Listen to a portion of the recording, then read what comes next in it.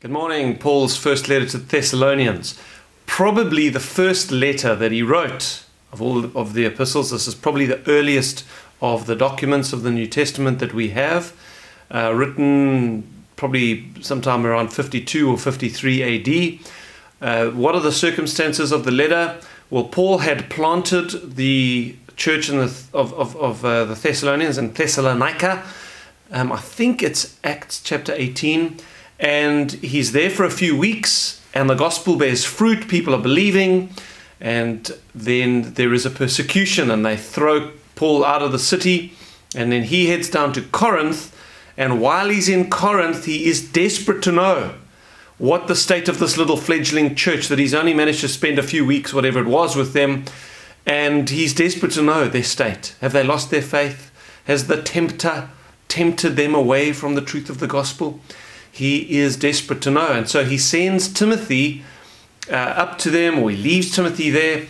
And then Timothy comes down and meets him in Corinth and gives him the good news that the church is doing well, it's thriving. They've got some questions, um, uh, particularly around the second coming of Jesus, but they are doing well. And so Paul writes this letter to be sent back to them, uh, just telling them how glad he is to hear of their faith, and then answering some of the questions, particularly around the second coming. And that's what the main theme of First Thessalonians is the second coming.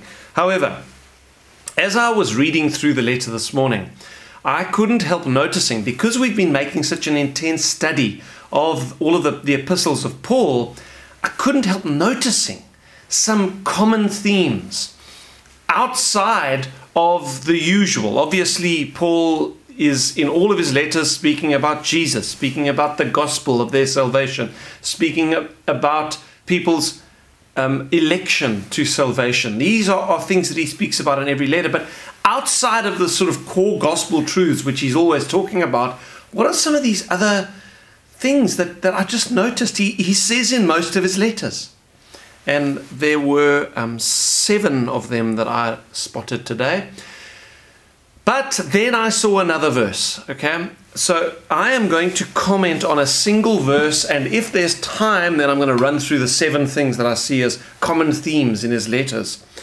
And the, the verse that I do think I, I should comment on is in chapter 4, verses 11 and 12. He, he says that you should also aspire to lead a quiet life, to mind your own business and to work with your own hands, as we commanded you, that you may walk properly toward those who are outside, and that you may lack nothing. Okay, two reasons why you need to live a quiet life and mind your own business and work with your own hands. Two reasons. Number one, that you may walk properly toward those who are outside.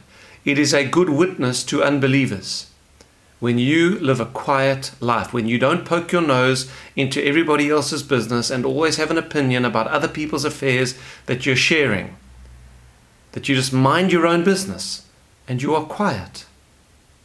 It is a good witness to unbelievers. And second of all, that you may lack nothing.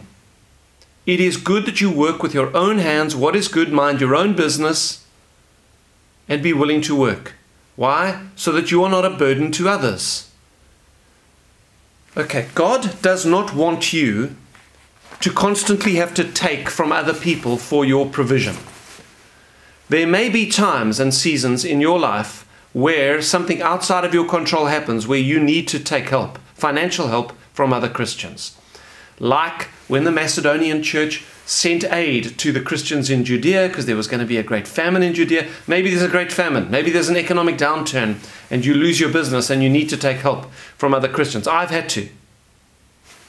But there are people in the church that never seem to get out of that. That year after year after year, they're needing help, they're needing handouts. And that is not the way it is meant to be. Now, I am not referring to you if you're in the ministry. If you are laboring in the ministry and you are depending on the support of your church, Paul talks about in other places, it is good.